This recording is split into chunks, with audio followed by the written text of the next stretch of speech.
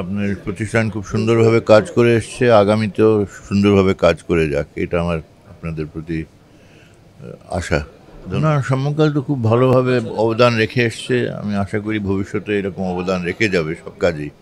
আঠেরো বছর যেসব কাজগুলো করেছেন, খুবই প্রশংসনীয়, সে ধরনের কাজ আপনার আগামীতেও করে যাবেন, আরও ভালোভাবে কাজ করে যাবেন, সমাজের মানুষের।